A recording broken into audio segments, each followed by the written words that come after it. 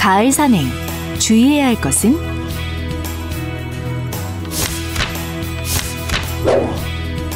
윈드 재킷이나 얇은 우모복, 장갑, 모자 등을 챙겨 급격한 온도 변화에 대비합니다.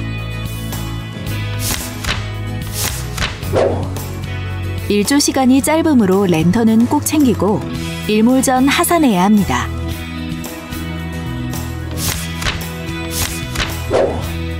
낙엽이 깔린 안반 위는 특히 미끄러울 수 있으니 보폭을 줄이고 조심히 걷습니다.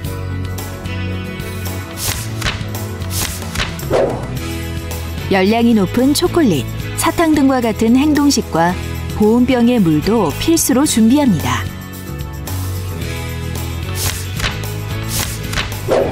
가을철에는 급격한 변화에 대비해 산행 전 일몰 시간과 날씨 정보를 꼭 확인하는 것이 좋아요.